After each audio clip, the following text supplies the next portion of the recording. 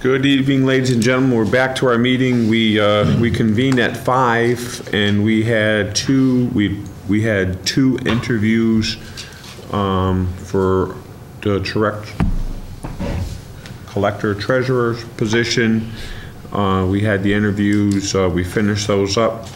Um, we did a little couple things, but, um, at uh, 6:30, we are scheduled for uh, Steve Benjamin, the fire chief, to do- review his budget.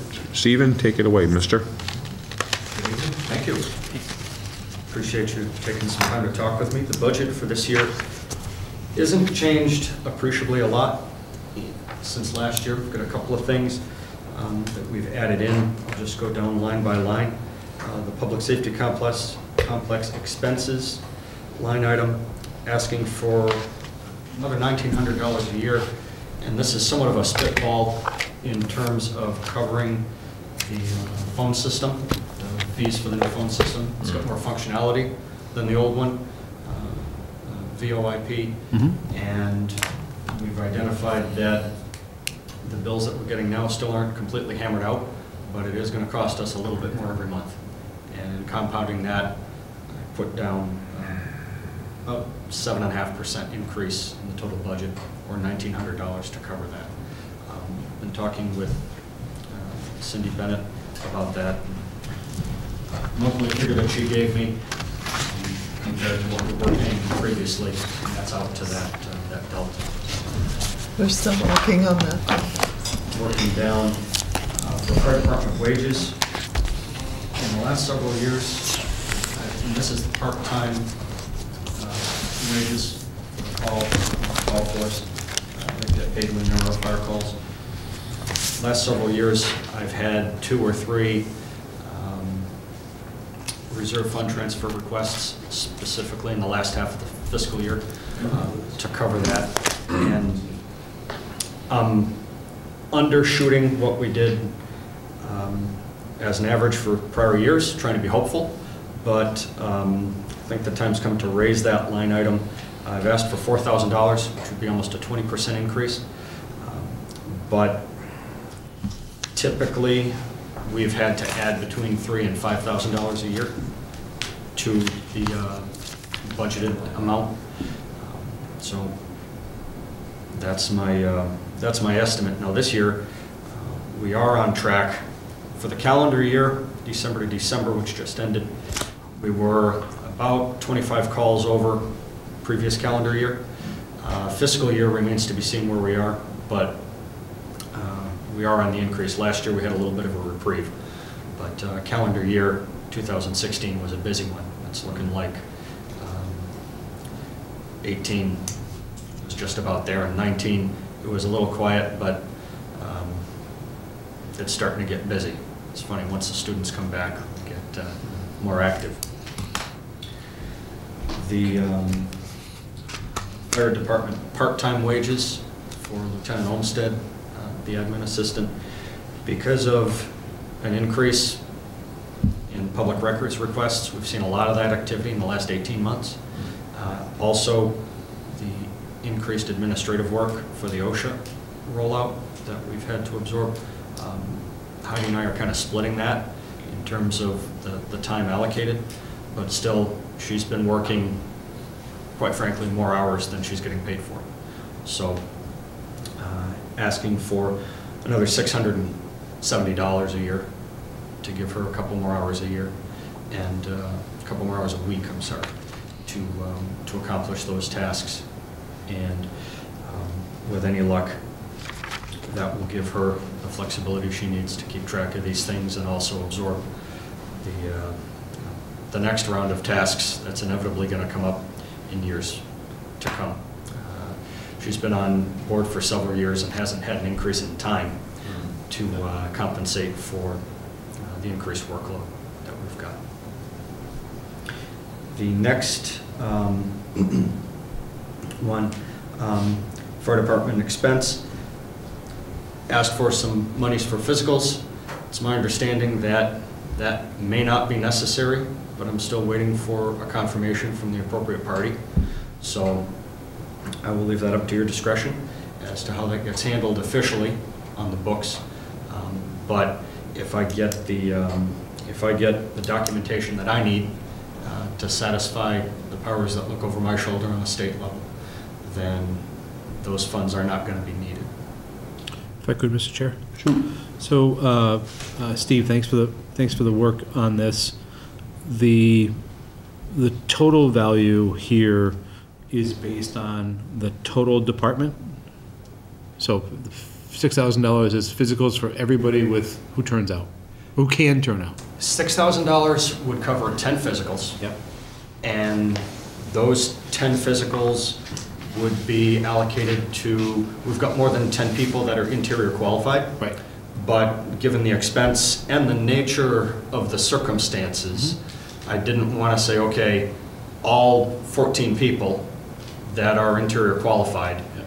are going to get the physicals and that's going to be it. I wanted to start with 10. Yep. And then we could phase some more in. Okay. As I had spoken to a representative from MIIA, um, at the time that that conversation had happened, um, she had advised me that if the physicals were scheduled the 1st of February, we would have a little bit of a grace period to get them accomplished. But they want, at that time, they wanted to see some action on getting them, Sure. getting them booked. Yep. So I wanted to start with that. um, And depending on how the year went, if anything broke, what have you, certainly our- Right. my budget could absorb some of the others. That's So- where that figure came from. If I could, Mr. Chair, we'll follow up. This, this arrangement here becomes annualized or becomes rotating with staff over a, a recurring period of time? Or is this one time? One time. The way that the, um, the way that the SOPs are written for the department that we are going to implement to coincide with the OSHA implementation. Yeah. Um, We're in the process of doing that anyway, so this was one of the convenient things that happened as a result of this, um, is the physicals occur once for each firefighter. Every year, they're going to have to produce a letter from their physician saying that they've had a physical, and their, their ability to conduct firefighting work and to be a firefighter, that has not changed from the previous year. Appreciably, in that physician's opinion. So if Timmy's in great health and his doctor says he's in great health, unless he has some sort of an issue where his physician says, you are not in the same health as you were last year, considering your age, no need for a physical. And quite frankly, given the, the nature of the department and the cost of the physicals and so forth, if somebody has that sort of an event, chances are they may not want to continue in that capacity on the department. So it- it's essentially a one-time cost and possibly a two-time, but the, to get us over the hump with all the physicals, that's what the request is for. Everything else should be absorbed in the normal budget. And is this separate, so as I'm looking at the proposed budget for 2020, uh, if I could, Steve, you're talking about this as an expense line. Is this in addition to the request for the special town meeting warrant? No, it is one and the same. Got it. And given um, challenges and and me communicating late last week, Yep. I just decided over the weekend that I'd cover my bases. Got it. I I couldn't get a hold of Sherry on, on Thursday and, and double check on that. So that is only one $6,000 request. Okay. And do you want it in the annual budget, or do you want it at the special? I understand that there's a fluid nature to the February 1st part. Well, if I can get my uh, confirmation that the physicals are not something that uh, we are obligated to do by law, um, it's something that could wait till The budget cycle. the budget cycle. I- I I see, the only reason I say it is I see this as somewhere in the world, there's an office with 200,000 volunteer firefighters out the door by February 1st, and that doesn't make any sense to me. And that was part of the, part of the conversations Yeah. um, with my peers at, at chiefs meetings and so forth, Mhm. about how, how, how do we accomplish this in six months, which was essentially what the window was from awareness to implementation. Exactly. And, um, no, go ahead. So, so what, what Chief Benjamin is, um, is talking about, the state of Massachusetts has, um, the Department of Labor has basically adopted, um, OSHA regulations 1926 subparts, what, they're the entire thing. Um, basically, what they were saying, what, what we've been told is that Massachusetts municipal workers, higher education workers, et cetera, were at a two times greater risk of injury, um, than people in the private industry and in other states. Massachusetts was one of the only states that didn't, um, had adopted the, the OSHA regulations. So, so still, um, in the private, in the, in the public sector, OSHA is not gonna be coming in to be doing inspections, it's still gonna stay with the Department of Labor. Um, but now they're gonna be following as guidelines the OSHA nineteen twenty-six. So things are, things are gonna change a little, change a little bit, hopefully for the better. Um, so, so meaning, in, unfortunately, fire departments are usually some of the things that have the most, um, problems because of the nature of their, the way they do business. But now you could ask the uh, Department of Labor to come in, um, request them to come in to review your equipment or whatever, and they would go through everything with an eye towards the OSHA regulations, and, and as, as a- an inspection, they don't, they don't, they don't uh, write you up for deficiencies or whatever, but it gives you an opportunity to, to address those deficiencies before a problem comes. So basically, they're getting out of the law writing business and doing back more, working with people, working with, to make people safer, so. Mm-hmm. So that's what the whole OSHA, that's why we're talking OSHA, because if, if, if you were or did know anything on the municipal side, municipal was not covered under OSHA. That's right. It is now, It is now. through the Department of Labor. Exactly, and they're still, they're still hammering out details. You know, One of the most popular ones was fall protection. And if, you know, according to OSHA, if you're working on a house, you've got to be tied off to that house. Well, if the house happens to be on fire, that's not Probably good a good strategy. thing to do, yeah. And, and that was, that was easy for them to work through. But in, in the, um, uh, in the grand scheme of things, you're exactly right. Right. These are, these are good things. Hope to make it safer, and at at the end of the day, we all want to go home to our families and the way we started off the day. And we've got an obligation to offer that to our employees. Absolutely. Just have to work through that process and um, eliminate where there's a couple of conflicts here and there, and then also make sure that we understand exactly what they mean, because there's always Absolutely. discussion, Yeah. these sorts of things. Perfect. All right. I think Elliot actually had a question at one point. There's, uh, there's actually a couple things. I'm wondering, uh, on the increase in wages, because of the projections, like you've got, you're expecting to have increased calls, uh, this year. I'm wondering if this is something, uh, if, is it something that is possible that we might be able to in the future uh, mitigate a bit, uh, with some kind of like education classes? Can we do some kind of safety courses that might instruct, say, all the people on Cliffside somehow, if they can get some kind of rent bonus or something to, to go through this course so they don't leave their pot on the stove and, and let it Right. set the fire alarm off. What's your call, increased category, and, uh, and I can educate on that. It's, uh, we've, what we've done is we've worked through the, uh, through management at the apartment complexes, and that's been somewhat of a challenge.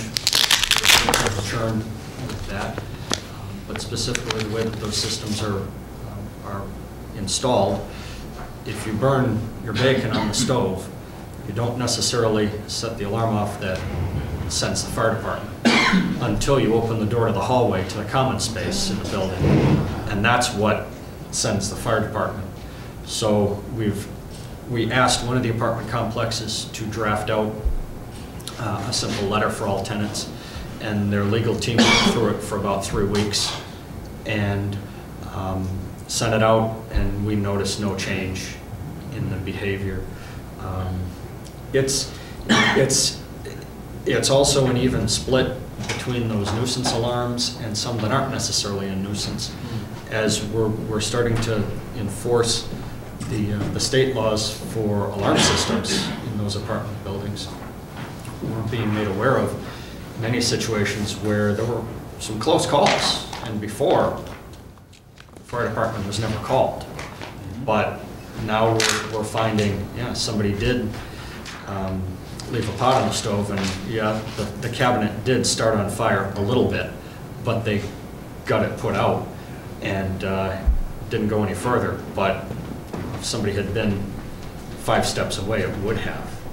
So we're, fortunately, many of our calls um, are not the, the classic, you know, the kid playing with matches. We've got a good program in the schools to teach fire safety. Um, We don't have very many, knock on wood, um, careless outdoor burning calls. uh, Brush fires out of control. That's been pretty well policed. Nobody's perfect, but that's gotten better. Um, it- It's a great idea, and we're always looking for ideas, but it's a moving target on that, on that part of the population. Um, you know, We're we're willing to listen to anything, and we try to have a constant communication with management also about what we could do, how we could avoid some of these problems. Um, And it's just one of those things that's it's challenging to pin down, because you have almost a brand-new population every, every six months, every 12 months. Does that represent the biggest chunk of, like, of the increase, if you had to categorize it? Is it within the apartments as opposed to, like, other It's other about residences? fifty percent is that, and the other half would be just residential alarms. Just the nuisance alarms, the carbon monoxide detectors that folks had to put in, and they're old, so they're chirping, and people call because their carbon monoxide detector's going off, and that's the right thing to do. Right. But Better it's safe just, than- you know, it's old, it's obsolete. It's the, it's the obsolete chirp instead of the get out of your house chirp. Yeah.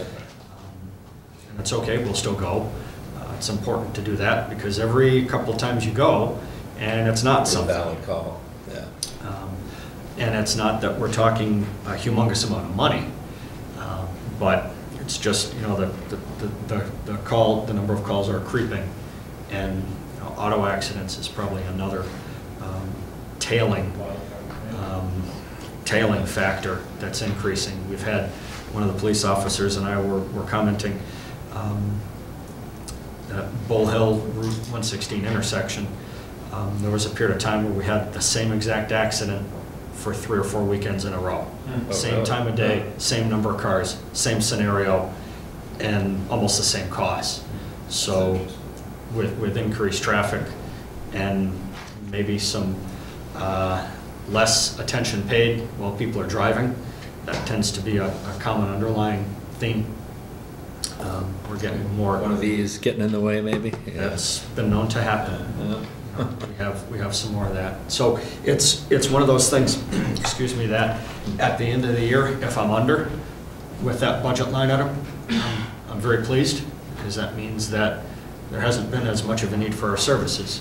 Um, But uh, we've been lucky, we haven't had any real major fires this year. Um, Could change, uh, certainly, but, um, And you also mentioned uh, about the possibility of the, uh, the OSHA item, the physicals of it not being put on. Is that if we don't have to cover them, or is that an alternate funding source you're? The, the way that I'm understanding it, that um, there have been, I'll say, four different positions on this same mandate that have been put out in writing from various organizations, whether they are uh, professional organizations of fire chiefs or um, municipal organizations, um, what have you, on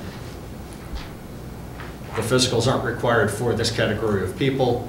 The physicals aren't required unless you're hired after this date. And what, um, since I put this process in place, even before all these, uh, all these positions came out, um, what I'm hoping to do is get a confirmation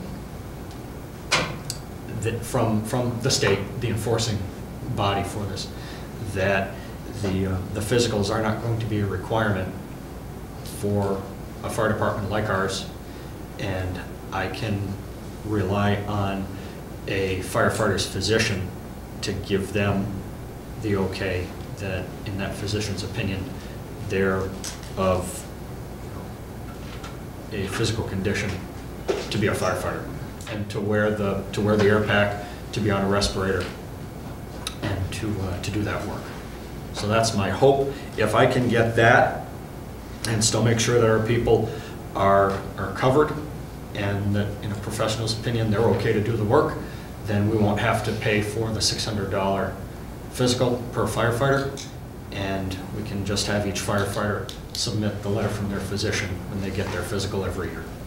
And that's only confirmation from the state, correct? That's correct. That's good. Department of Labor, that's my, would be difficult right now. true, but um, that's, that's the strategy, to make sure that we're doing the right thing, but we don't have to spend anything that we don't have to spend.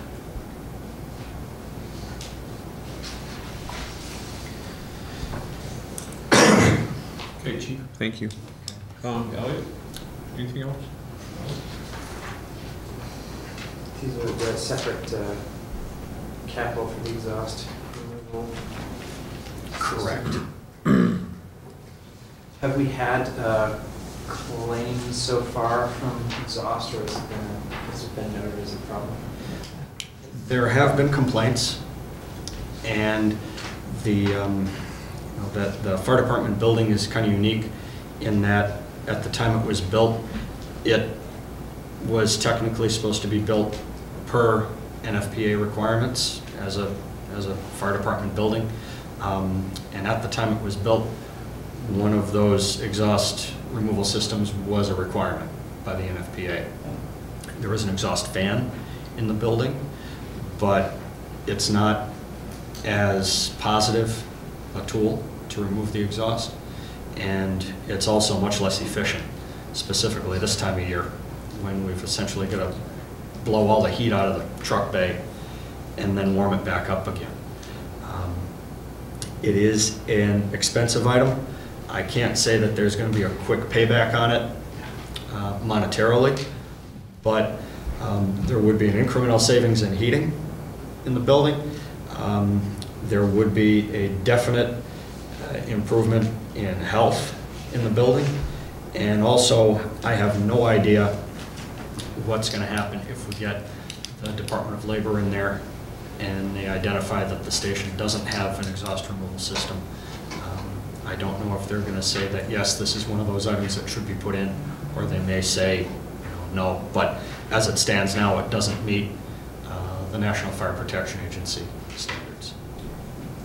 And if you, if we had this installed, would you be planning to remove the old fan or cover, like do some kind of cover it up as extra insulation for this time of year? or- We could, we could. I wouldn't want to remove it completely because in the summertime, it can be nice if we're doing drills in the bay, it can be nice to have that ventilation.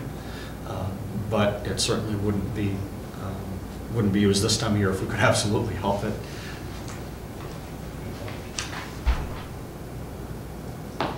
Do you have just like a guess of or like what the incremental heat savings would be? Like what the heating bills are now?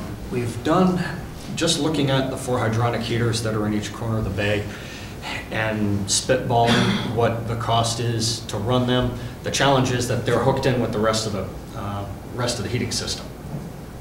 So uh, you can't really isolate it. But looking at the amount that they run, figure two or three hours to take the, to take the truck bay from, on a night like tonight, 10 degrees back up to 50, where we try to keep it. Um, The cost of oil being $2.23, 24 cents, what we just locked in, it's probably around $1,000 a year that we're spending to, um, to rewarm the truck bay after we take the trucks out. Because the, the fan, we run the fan when we take the truck out, if we can. Uh, If it's a real emergency, sometimes that doesn't happen. Nobody has time to go to the, to the wall, nobody walks by. But we always run it, bring the truck back in. So, you know, it's running for half an hour to an hour every time we, uh, every time we go in and out. Sometimes that's once a day, sometimes that's three times a day. Meanwhile, it's probably not gonna be as low as it is now for ever. Pro- Probably not. Um, And, and it is, you know, this is, this is one of the, uh, one of the things that um, early on, we identified as a great grant opportunity. And uh, we inquired about it, but because of that NFPA requirement, at the time the station was built in '03, we're not eligible, at least through the NFPA, for a grant to put one in. So um, there may be, we we certainly have some state grants for smaller amounts of money. I'm actually pursuing one of those for another um, of the OSHA requirements uh, for a breathing air system, uh, for carbon monoxide monitor for that. Um, But it's, uh, it's something that has been, has been brought to my attention as an irritant for the folks working in the building, that they can smell diesel exhaust. I'd be lying if I said I haven't had the same experience sitting in my office when the trucks are going in and out.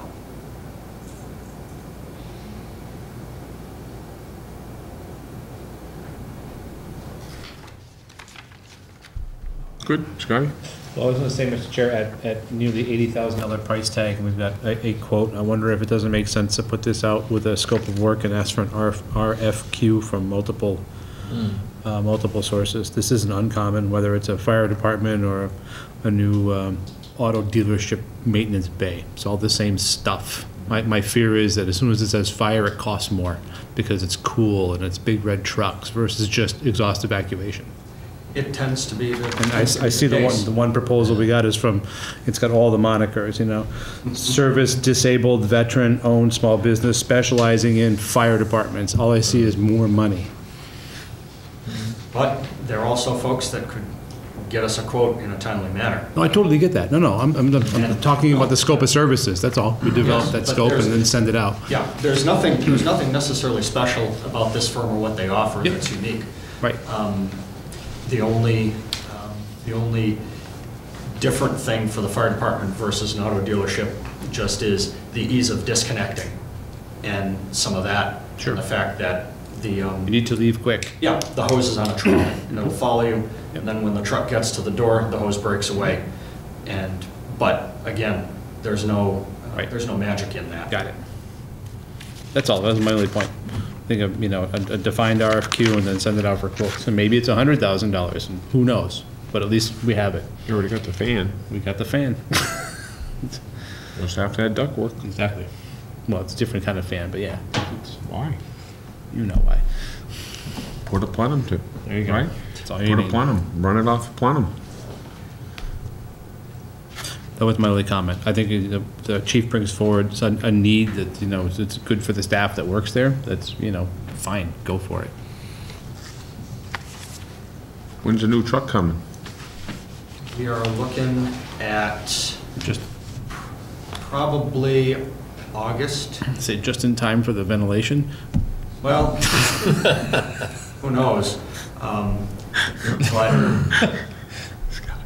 we've, uh, we've been, the, the communication's been hot and heavy on everything from confirming uh, control patterns to paint colors to uh, tires and all the little, the little back and forths. We are, um, we're only a couple of dollars with all the, the, the last minute changes and can we do this instead of that and fog lights, that fog light instead of that fog light. Um, We're only a couple of hundred dollars over Nice. what we had bid and that may go away. Mhm. And um, we're getting exactly what we had counted on. Pictures ought to start rolling in probably April, Yeah, first makes part of sense. April. Because right now, there's just, you know, a chassis that looks like everybody else's chassis. Right. Um, It doesn't take them horribly long to build these trucks, but the backlog was what had Sure. um, given them such a, such a lead time. So. Good. Uh, burning, outdoor burning start soon? Outdoor burning has begun. Nice. On the 15th. So Get it while the snow is down. May actually, yeah, burn, burn now. It's my favorite time of year to burn. That's right. Uh, it's a little cold, but that's okay. It's okay. Because you've got your fire. Warm me up. Stand by it And and warm up.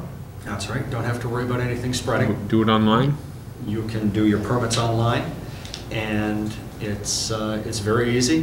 We Just ask that you go on to um, the website, fcburnpermits.com, and fill out the form. You will be asked to print the permit, keep it with you, and everything you need to know is right on there. It's really simple Nice. no more than, or no closer than 75 feet to a structure, uh, having means of extinguishing the fire handy, whether that's a shovel this time of year with snow, or a garden hose. Um, No building material, no garbage, uh, organic debris from cleaning up around your yard, no leaves, uh, because they do tend to blow around. We've had a couple of scares in years past with that, uh, and also the hours of burning, um, 10 AM to 4 PM. Kindly abide by those. Um, It's not just something that I made up, it's something that not just the State Department of Conservation and Recreation made up, um, but the State um, Department of Environmental Quality Oh, that makes sense. has a big say in that because there are concerns in some parts of the state with air quality. Mhm. Um, I won't say that we're not concerned with air quality, but there are some places, larger cities, where the air quality isn't as good as it is here. So they want to have burning only during certain hours. And there are times when the state will shut burning off. And we have no control over that. So the state calls up all the dispatch offices and says, no burning today, and there's no burning that day. Uh, It happens rarely, but it can happen. Those Red flag warning days and stuff. Exactly. And ironically enough, it can be days like that, or it could even be days, uh, maybe like we're going to have on Thursday, where it's rainy and damp and foggy. And in the, in the fire, fire business, that's a great day to burn. But in the air quality business, that's not a great day to burn because there's no mixing. Right. The, um, the smoke stays in one general area. Good point. Okay, anything else, Stevie? No, thank you very much. questions? No, I think I'm good. Any others, go ahead. No, it's great. I appreciate the chief's work. Thanks. All right, Stevie, thank you for coming in. Thank you. Maybe not hundred percent, but thank you for coming in. It's 102 Fahrenheit percent. All right. Continuing on, um, Board of Selectmen updates? Uh, I can briefly, Mr. Chair. Uh, Last week, the Frontier School Committee adopted the recommendations of the Capital Planning Committee, and I think the budget was sent out to all the participating cities and uh, municipalities. So you'll, should see, based on work by John Arcanian, uh, what is going to be borrowed for, what is going to be assessed, and that is in the form of a a detailed spreadsheet, including the impact across different, uh, across the four different towns. And then uh, I'll hold off on an MMA update till our next meeting, but I would say topically speaking, it was one of the better of the events I've gone to with respect to the seminars that were put on, particularly uh, important to our area were workshops on affordable housing, on OPEB funding, on uh, rights-of-way in the FCC, and uh, I would like to give a a note back, well, send an email back to the MMA organizers that that was one of the better full slates that they brought forward. They sent out a Survey. survey. Yep. Yep, all right. Mr. David? Yeah, yeah, I'll just, I think, I think Frontier votes on that capital plan tonight. Was it tonight? uh, you are correct, it is tonight. Oh, sorry, Yeah. tonight, tonight. Okay. Because it's Tuesday, we're Frontier. usually At Mondays, that's Frontier. why. We were supposed to go. There's a Conservation Commission downstairs as well. I was supposed to go to that one, but it's okay. Somebody's there, I'm sure. Yes. The camera's there. Good, that's See? important as There well. Perfect. Because normally we're on Mondays, so. Anything, Dave? Uh, just I I second what Scott said about the, uh, the MMA. Um, I got a, uh, Union thirty-eight negotiation meeting tomorrow night. Um, and then we've got our ditch stuff coming up, so. Nice. All right, Sherry, Town Administrator? Um, Just a couple of things. The streetlights are in, so we're working with the um, contractor to schedule the install. Yeah. And there's a meeting at the FRCOG on the aggregation, and they're looking for representatives from the board and Energy Committee. That meeting's going to be on February 12th. 12th, yep. I could make it, if Dave and I could both make it, Yeah. I guess. We'll bring a Okay. little posse up there. All right. Um, FRCOG District Local Technical Assistance Program request. I have, I, I did not bring mine tonight. It's in the truck. I'll just give my marked up version to Sherry. So we can That'd be good have, if he's looking for it by Yeah. Friday, so yeah, I'll, I'll send you you, can send me an email, I'll send your, I'll send it tomorrow. like your top Actually, I five. gave it Okay. to, leave it here. oh, wait, sorry, wrong book.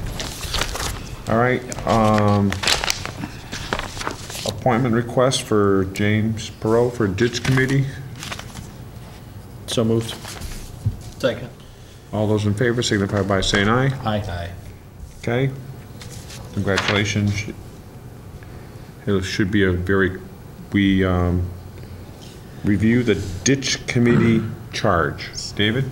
We're gonna dig deep into that. So, I kind of went over the last, um, the, well, I really, because we kind of drafted it, we never actually got the committee going. And I wanted to look at it because a lot of the stuff, when you go chronologically, we came up with this charge, but then we ended up having a- that, that study done. So a lot of the things that the stud, that we had in the original charge did get addressed in the mm-hmm. study. Mm-hmm. So I kind of wanted to take that into consideration when coming up with a charge here. Um, And this was just a draft, I figured I'd sit down and try to come up with, you know, what we wanted on it. And what, then the things that I thought were important to cover. So I tried to put in like a, a brief cause or need statement about why we're mm-hmm. creating the committee. Um, Do you want to read through it, or? Um, no, I, I, I, but I think that we should, uh, send a copy to each one of the members of the, the ditch committee. Also, I would like to see their, uh, you know, I, I, I- I would, I would suggest that we vote on this tonight to get it mm-hmm. going. Yeah. Right. So we can schedule meetings as soon as possible. But then after your first meeting, have, have the committee take a look at, at the thing and ask them if they have any recommendations or changes, then we can amend this. Mm-hmm. The only amendment I could, Mr. Chair, is under the cause and need statement, David, in the very beginning, because of recent and historical issues, I would just change of recent and just, and remove all that. I would say because of historical issues related. Yep. And then at the end, one of the deliverables on the, on the mission and purpose, which I think is well thought out, it should end with, it should end, and I appreciate the uh, execution required easements, rights of way, that's gonna take some time. But invariably, this is gonna end up needing to be in a, in a package for uh, town submitted NOI to the Conservation Commission.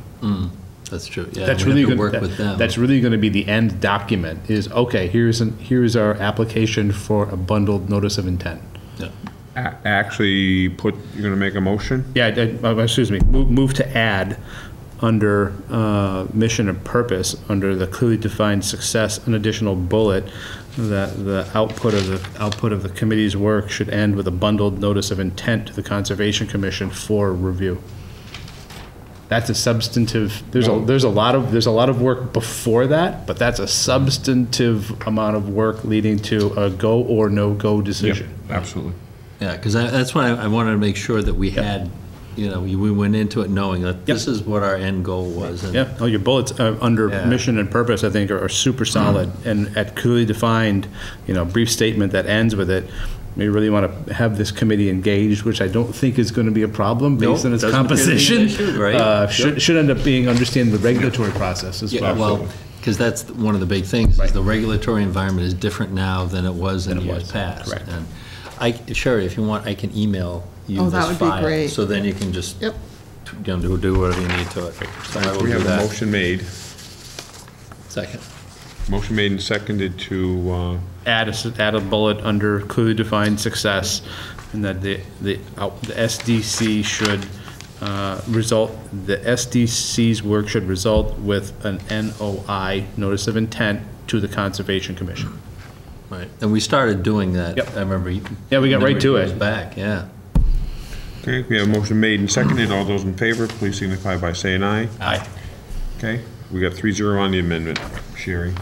Okay, we're all set with that. Um, special town meeting is Monday, January twenty-eighth at 29 2019 at seven PM at the Sunderland Elementary School. Um, so next Monday night, we will be at the Sunderland Elementary School and our next, outside meeting besides a town meeting, well, special town meeting will be Monday, February 4th, 2019, which will be done here. Highway Department will be here for their budget presentation. Okay, excellent. Is there anything else? No? Like, Yeah, I'm about that, thank you. All right, motion? Move to adjourn? Second. Motion made and seconded to adjourn. All those in favor signify by saying aye. Aye. Declare us out at 7:14.